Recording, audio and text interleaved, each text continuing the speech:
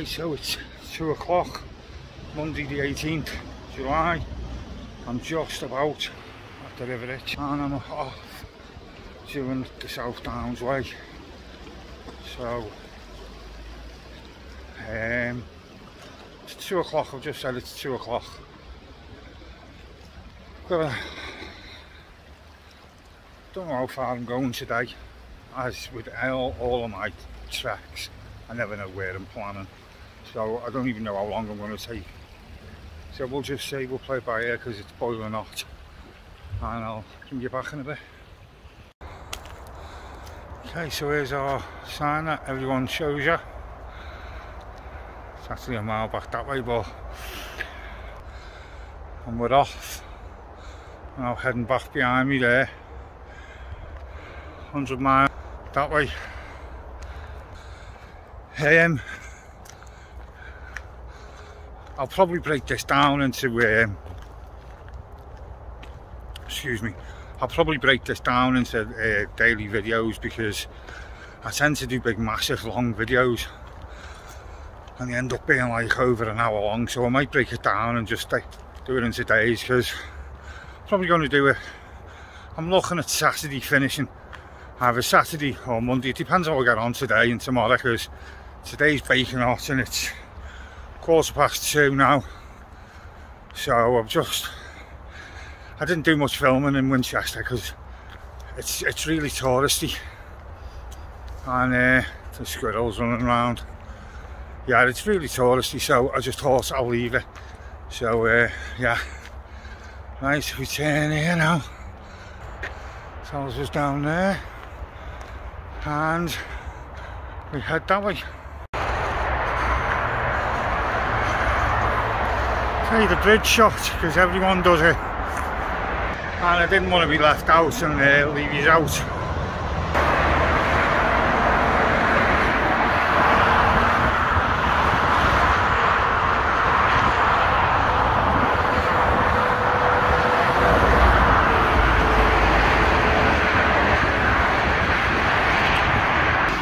I don't know what motorway that is but uh, oh yeah the M3 so we're pretty busy, pretty noisy. Hoping to get away from that noise soon. So I'll bring you back in a second. We're heading down across the bridge there, so nearly done it now. And literally, you come from there and then you end up in this field and it's literally 15 metres from that bridge and uh, you're walking through this. So, started properly now, I'm out into the countryside, the views opened up immediately. Fantastic. Let's uh, let's enjoy the ride. Whew, I've just come up there, but it's a bit steep. So I'm here where the firing range is and uh, no red flag. Everybody, almost every video I've seen, there's the red flag there. So I'm about just under three miles in, 45 minutes or so. I'm to take a break in a minute. I'm to get up, find a little sheltered spot, sit down, get some sun cream on, have a drink, as my mouth feels like Gandhi's flip-flop at the moment and uh, yeah I'll bring you back in a bit. It's a bit warm. You can see from my face I'm bloody boiling hot. It's uh, 33 degrees probably a little bit more so it's about 90 99 and 33 or 66 98 about 98 degrees. And it feels every one of them so as I said I've just got to Cheeseful Head which is down over there. You can just make out down in that valley down there. That's where Eisenhower uh, spoke to all the troops just before D-Day. Right, I'll bring you back in a minute. Gives you the better idea of Cheeseful Head. Like there's some kind of festival. Okay, so it's uh, five past four. About a mile away from Holden Farm. I think it's Holden Farm. Uh, there's a water top there. Gonna need it because I've already done a litre in. I'm uh, about six miles. Holden Farm's just just up there and uh, down a bit. So we are, I've been sat down for about 10 minutes just chilling out in the shade because it's absolutely boiling. I don't know if I've just said this, but my watch says it's 34, 34 degrees, which makes it just under 100. So it's still pretty warm. So I'll catch it in a bit. Right, well, I've just come out of Holden Farm. I was going to camp here because uh, quarters to five. It's boiling hot. I just thought, nice place to just stay for the first night, proper sight and that. 20 quid. 20 quid you want? I'm paying 20 quid. I mean, you pay, I've been happy to pay a 10 or 15. I'm paying 20 pound for a bit of grass, a line a bit of grass. It's absolutely ridiculous. So if anyone ever watches this from Holden Farm, backpackers are not going to pay 20 quid because you can go on wild camp for nothing. So I'll just push on and wild camp for nothing. Thanks Holden Farm. Yeah, cheers. It's at past seven and as you can see I'm uh, yeah, to show you around. That's an ice maker fridge, freezer, fridge, fridge, freezer, washing up stuff, uh, kettle, chargers on. I'm out, I'm a, a Holden farm.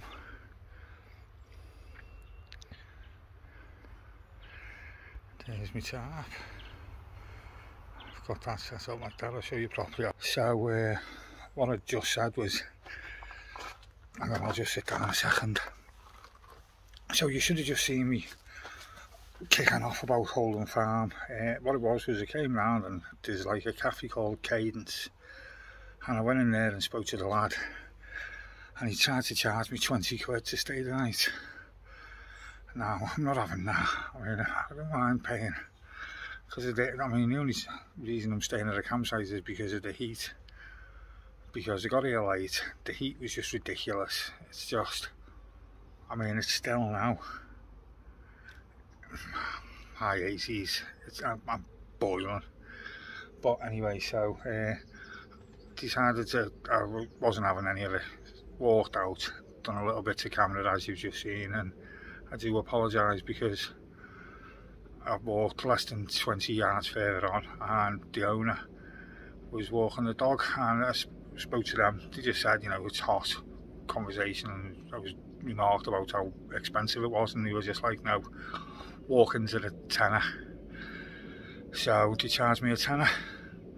So I think they were going to charge me 15, which would have been about right. I'd have paid 15 quid, but because they were messing me about, but no, the lady was absolutely fantastic. can't fault her. Absolutely fantastic. Walked me round, charged me a tenner, showed me everything. There's showers, loungy stuff. There's there's a little shop there. It was shut when I got here, like, but that kitchen you've just seen, there's another field just over there behind where the camper van is. I don't want to go too much because it's uh, some Germans have just pulled up and I've just been chatting to them. Seem really nice. There's a Belgian couple a bit further up as well. So nice little look around because like I say, I've got the tarp set up like that. Let me just zoom in a bit. I'll show you it properly after.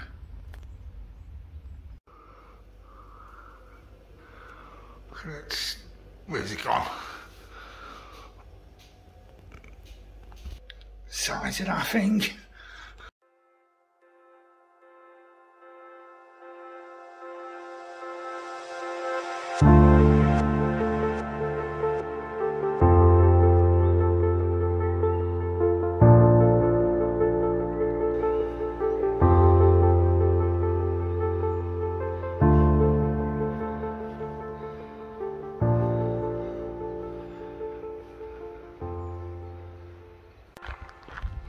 Morning. Day one. I'm classing this as day one because yesterday was literally two hours. So we might tack it on to the end, but this is day one. First full day. It's uh, past seven in the morning. It's already getting warm. So I'm trying to, I've uh, left Holden Farm about five minutes ago. I was going to get up really, really early, but that heater just slept right through. So starting now, no idea where we're aiming for today. So we'll just see where we get to because again, it's been forecast to have another record-breaking day. Temperatures.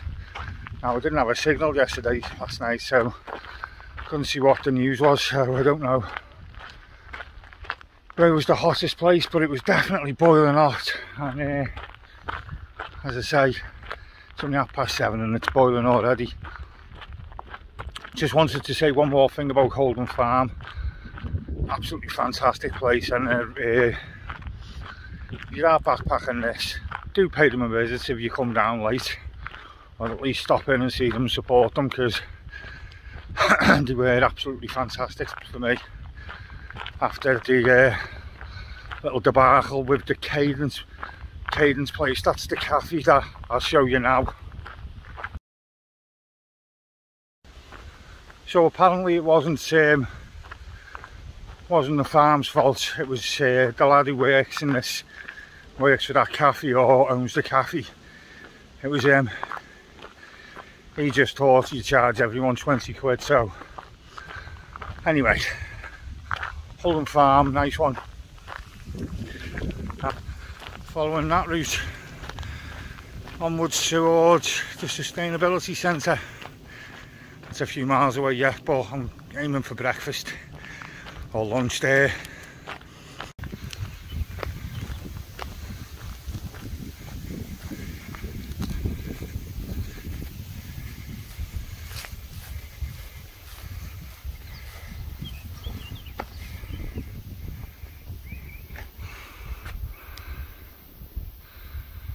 I don't know how much the camera's picking up because it's really, really sunny. that Beacon Hill. Come from down there. It's now just gone half past eight. It's a lovely breeze, but it's absolutely boiling already. So, stop here for five minutes, have a quick drink, crack on, bring you back in a bit. There's one of the beacons that was lit for I think it was uh, 2000 was it or the, the Queen's Jubilee? Had probably been lit. It's uh, still warming up. So that was Beacon Hill. I haven't filmed much this morning because there's not really that much. You're walking through farmers fields and along the 4 before path. So little, be honest with you it's a bit boring and now on this road so onwards and upwards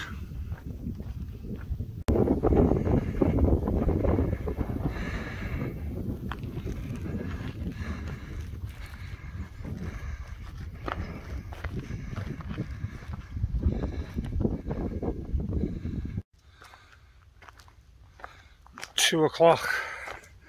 I've been sat at Meon Springs for nearly two hours, two and a half hours, just to try I'm not walking in this heat, it's 100 degrees at least, it is boiling, it's July the 19th, we're not used to summers like this, heat waves like this, and uh, anyone who watched, if you watch my uh, Cumbria Way channel, my, my Cumbria Way video.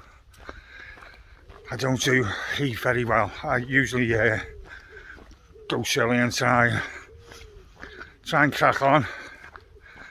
But uh, the heat's beating me today.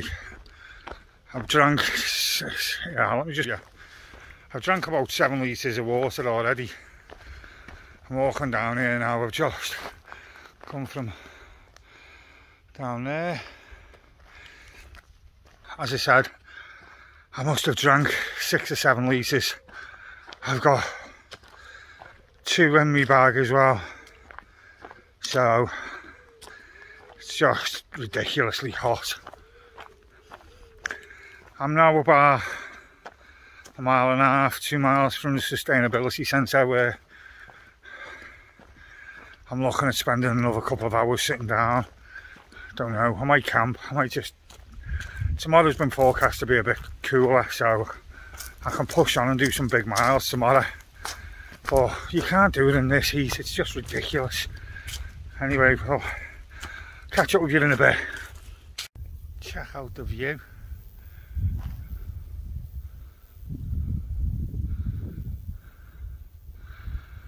Just come from down there. God, I'm knackered. Just come up that hill. I don't even know what down I'm on. I'm coming by this radio mast. So I'll have a look in the map and it'll be along the bottom, wherever I am. But yeah, what you, YouTube doesn't show you, do apologise for the finger and what YouTube doesn't show you is trying to walk in this heat, coming up and down, up up hills, up steep hills. Now, they're not as steep as the Lake District, bloody hell, with this heat, it makes them just as hard. You might as well be climbing a mountain. Normally I'd be powering through, but I hope tomorrow's cooler. Anyway, uh, I'll give you one last little sweep around.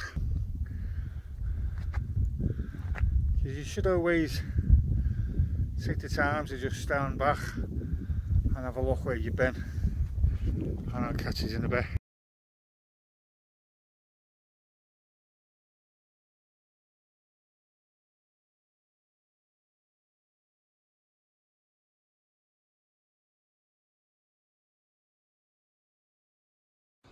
Morning, day two. So I stayed in there, just behind me there, you can see where I stayed. I'm in a place called the Sustainability Centre. I got here at about three o'clock yesterday afternoon and it was just it was nearly 100 degrees and you just can't walk in that weather but so I stayed here um, I'll just give it a so that's where I stayed there's little things called this one's Bramble that's where I stayed there's a down there and then there's the main campground there there's a little forget me not that's called. So uh, as I said, I got here for about three o'clock. Sat down, it shuts at five, and uh, I thought I'm not I'm not going to pay, so I didn't. I just waited. I know, but do you know what? Right, walking in that heat, I couldn't have walked any further. It was just ridiculous. So I'm on my way. Here's the loos, compost toilets, bit of sawdust, throw that down. And uh, off we go. Heading for Queen Elizabeth Park first. It's my first port of call to get some proper breakfast because I've been eating like protein flapjack things and the cocoa ones from Home and Bargain and they're awful. But we'll see. Catch you later.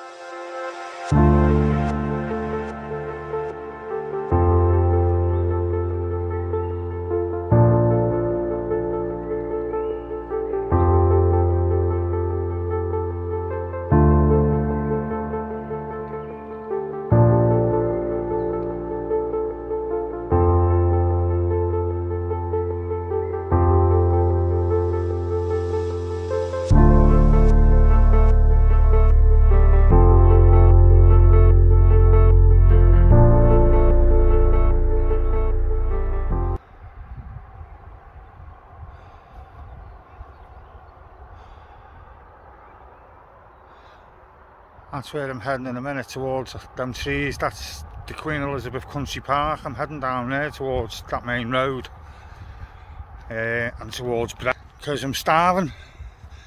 It's uh, time's it?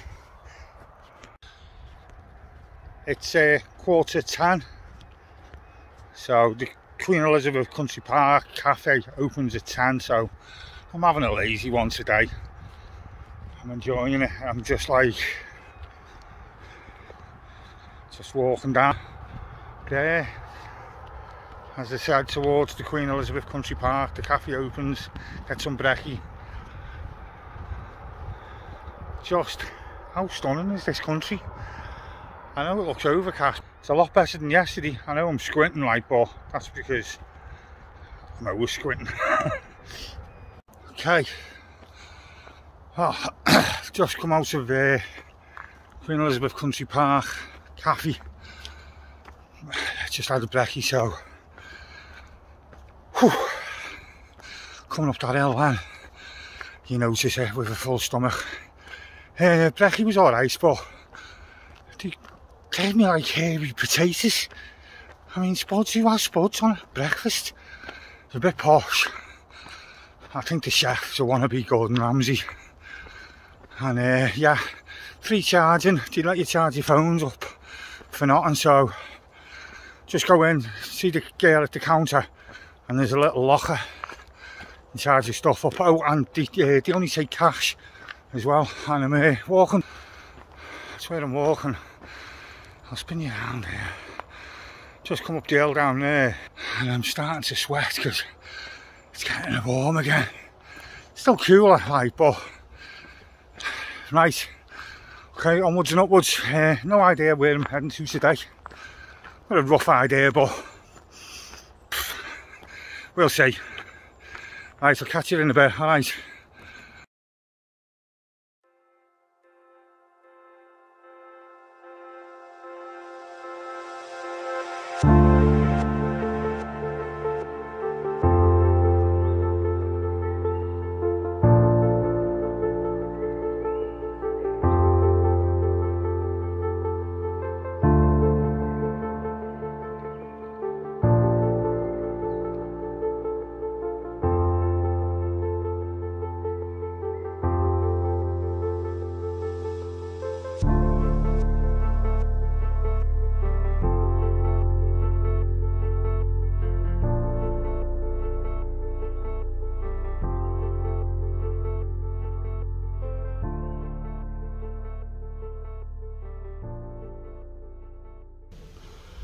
This is what I love about hiking.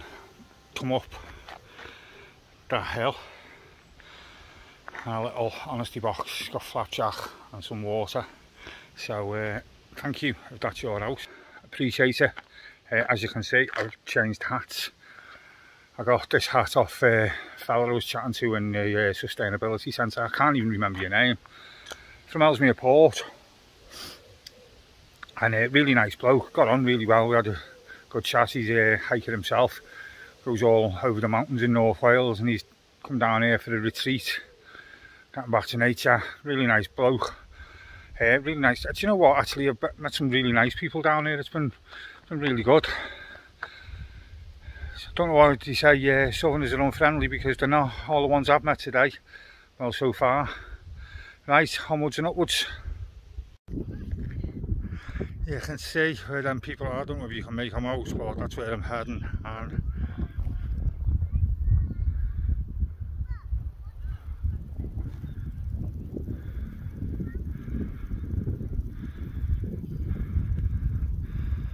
that for a view. There's that radio tower that I came past. Uh, when did I come past that? Was that yesterday? Looks like that's the Queen Elizabeth Park, them trees, don't it? Southampton down there with the green church roof. No idea what this little village is right in front of me. And I'm heading that way. Uh, I'm going to sit down and have some lunch in a minute. I haven't been filming that much because there's not much. It's uh, mostly 4x4 tracks. As I said, it's uh, there's not that much to see. You're walking through four, across through uh, the sides of fields all the time and there's a farmer's posted loads and loads of private keep out signs. God knows why, I mean, you're in the middle of nowhere, you know.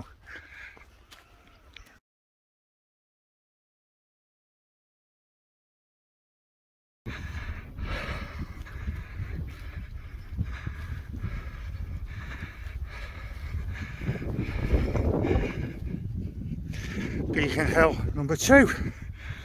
Let me just I think that right in the distance, I don't know whether the camera's picking it up, that's the Isle of Wight, I think, because that there is Portsmouth. And you're looking around see, I can't see how well this is picking up on the camera but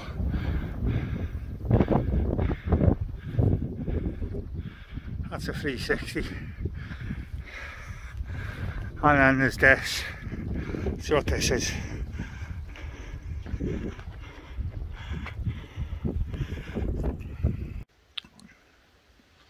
Right well uh, I'm about mile 13 it's half past two. I've got another same mile 13 I'm about mile 13 and a half. Another two and a half and then I turn off towards Cocking. Because uh, there's a pub there called the Bluebell and I'm um, uh, gonna head there and sign up some food there today and because uh, I really could do with a pint or two down to my last litre of the water now as well uh, gone really well today. So I've done as many miles as I did today now by half past two was what I've done the entire day yesterday. So it's much, much better because of the weather. I'm uh, just looking around. I'll show you around. It. There's been a jet flying around, so it's just, I'm, you might say, I've just shown you it. Been doing circles for the last like 10 or 15. But yeah, as I said, so another couple of miles, should be into Cochin.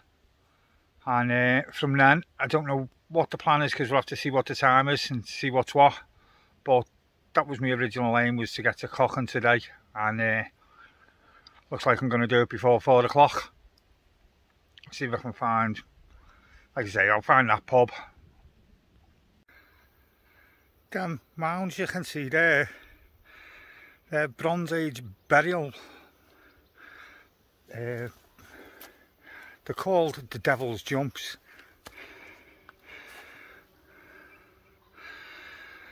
Uh, they date back to about 3,000 years. Best example of a Bronze Age barrow cemetery. Archaeological, investigations have shown that although many barrows contain burials, some are left empty. Excavations in 1853 found cremated bone and two of the large mounds, but nothing in the outline. So, Bronze Age, middle of nowhere.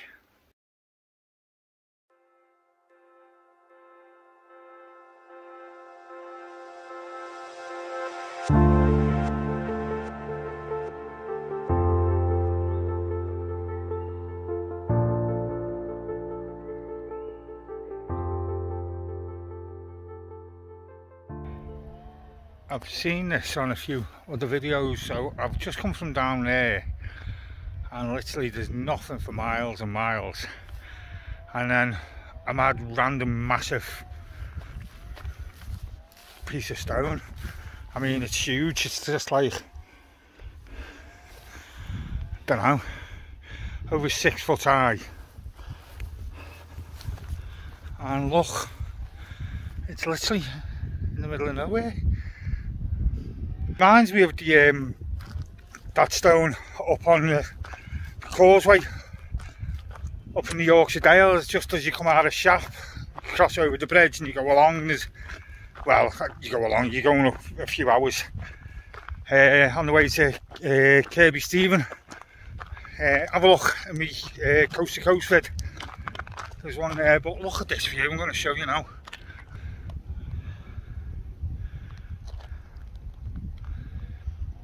You can see the path heading up up there, I think that's where it is. I'm heading down towards that village, I think. I think that's Cochin. I hope it is, because I need to drink. So, another couple of miles, should be in Cochin. And I'll uh, bring you back in a bit.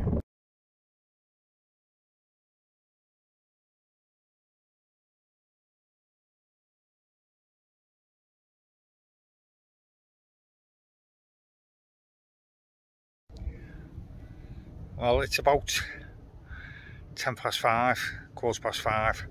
I've been here about half an hour, 40 minutes or so. I'm at Manor Farm uh, and it's a fantastic little campsite just outside Cocking. I decided to stay here because if you go up onto, if I go back up onto the downs, the next place to get water really I think is um, Amberley, is it? That's about 8 to 10 miles. So I can't go can't go up further than this because I'm going to need two leases tonight and then I'm going to need three or four in the morning, aren't I? Because, but anyway, so uh, I'm at Manor Farm in Cochin and uh, I've just had the maddest shower. I'll just show you around so you can see in this field, this is where I am. I'll spin you around properly, in fact. What I'll do, there you go. So this is where I am.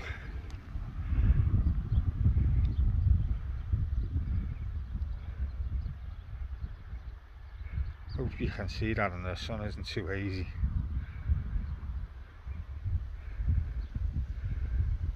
But that's my view. So where that gas bottle is down there, that's where the shower is.